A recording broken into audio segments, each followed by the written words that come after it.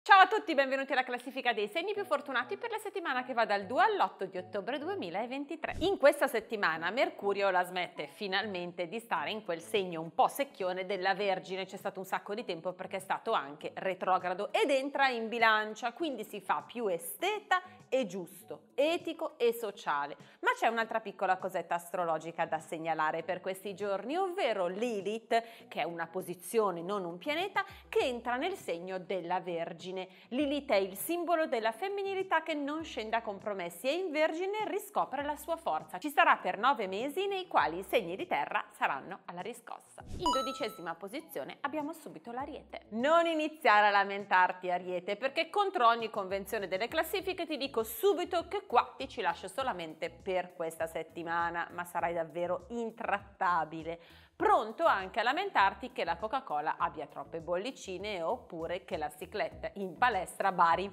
togliendoti dei chilometri pedalati. Non sei credibile. All'undicesimo posto c'è il cancro. Non riesci a darti pace dopo la luna piena che c'è stata nei giorni scorsi e pare che nella tua testolina le lamentele e le idee pessimiste scoppiettino come palloncini ad un gender reveal. Ne hai per tutti, insomma, cancretto. Si sa che tu non sei un segno bravo a mantenere la calma quando le emozioni si fanno sentire. Quasi quasi rimpiangi un po' quella noia piatta dei giorni scorsi. Al decimo posto il Capricorno. È un attimo che ti scappi via un vaffa, come un calzino rosso nella lavatrice dei bianchi e che colori subito tutta la tua giornata di malintese e di nervosismi vari.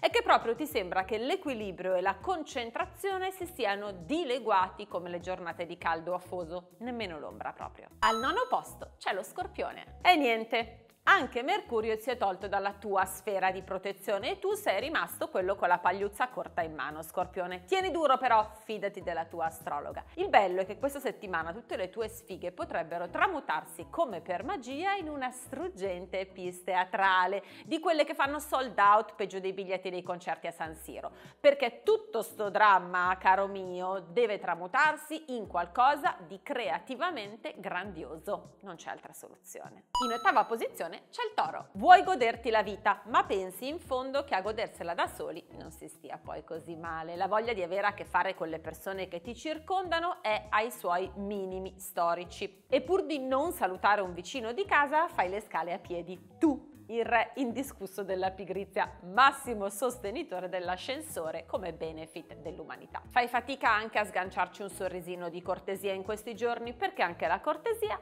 se ne sta alla larga. Settimo posto per la Vergine. Quanto ti dispiace per questo Mercurio che ahimè ti ha abbandonata, ma c'è rimasto parecchio nel tuo segno zodiacale, insomma ricordatelo e non è nulla di personale Verginona, succede.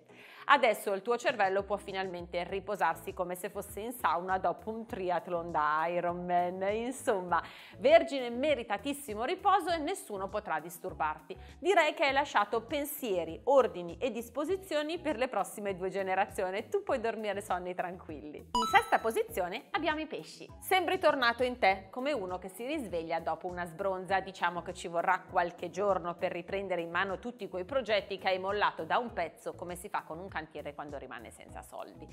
Soprattutto in amore però sei prontissimo a rimetterti il caschetto da ingegnere e a costruire veloce ed efficiente perché ti pare di aver perso già fin troppo tempo. Vuoi tornare a fare le cose per bene soprattutto col partner, bando alle ciance. Quinto posto per l'acquario. Il tuo cervello fa scintille e credo che anche se i pianeti non sono proprio tutti schierati dalla tua parte, tu però ti senti in un equilibrio davvero perfetto. Come chi alla balera non sta proprio in prima fila, ma è sereno di poter anche sbagliare qualche passetto di danza.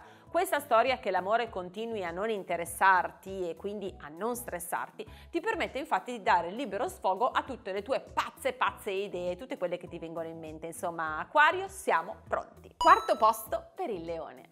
Raccatta tutti i baci che puoi. Bacini, bacetti, baci passionali, baci sulla fronte e persino i baci col rossetto, perché dalla prossima settimana, caro mio, ritorneremo solo ai baci di routine. Goditi infatti questa Venere che ancora per tutti questi sette giorni ti rende in effetti irresistibile come un panino col salame quando si è a dieta. Terzo posto per il Sagittario. Adesso sì Sagittario che puoi tornare ad inforcare gli occhiali come un professore universitario e a puntare l'indice come fa Harry Potter con la bacchetta magica. Perché per questa settimana c'è un equilibrio perfetto di pianeti che ti rendono adorabili come quella borsetta in vetrina della nuova collezione autunno-inverno che di certo non resterà invenduta fino ai saldi. Secondo posto per i gemelli. Finalmente ti sei lavato via Mercurio che ti rendeva impacciato e adesso ti senti un cervello pulito e splendente pronto a chiacchierare per 12 ore consecutive per recuperare ovviamente.